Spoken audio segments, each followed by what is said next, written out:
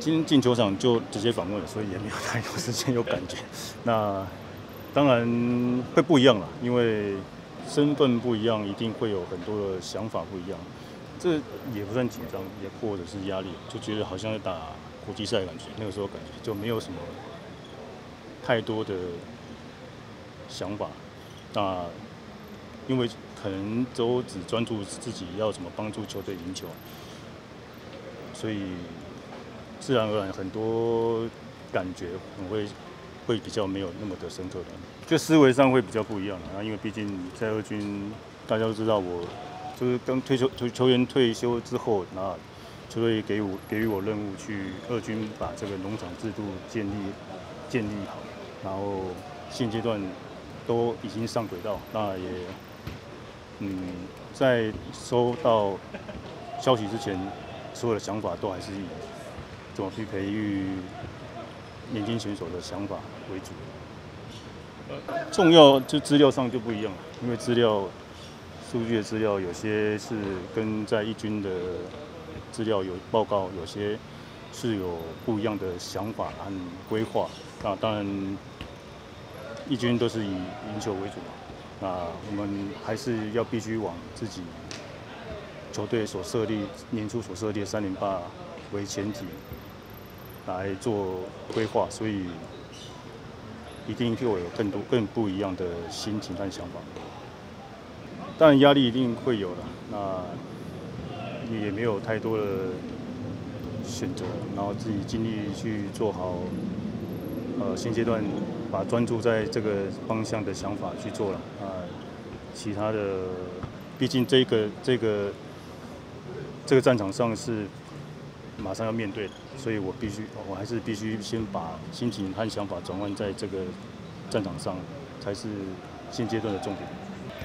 因为就是，就是事实上我自己也没有想过，这会用这样的方式接下来。有问过自己，如果有一天会当总教练，我想应该不会是用这样的方式。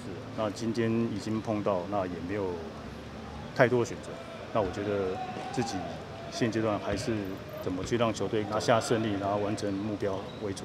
是大概讲了两几几句话了。那最主要是尊重，尊重彼此，然后尊重。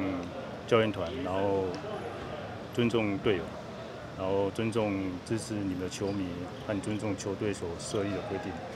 风格，因为我也受过日本教练教教育过，那严厉的日本教练嘛，很很呃严呃神严教练。那我也自己有去在当农场主管时期有去日本参访，那也有去美国参访。那我觉得学习，我觉得。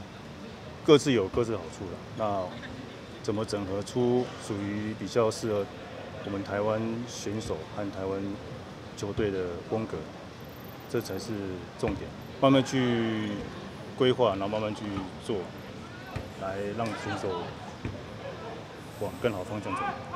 呃，我选择八十六号，那八十六号是自己，当然大家知道我，八八月六号生，每个人出生。一从出生开始就开始接收跟学习新的思维、新的新的想法和新的资讯。那我选这个这个号码的意义，希望说自己能够保有好的传统，然后也不忘要接收新的资讯、新的思维，来有更好的视野。嗯，我觉得这是由球员自己去感受。那你说要希望主要。希望球员能够有怎样的呃看法？我觉得由球员来发表可能会更更好一点。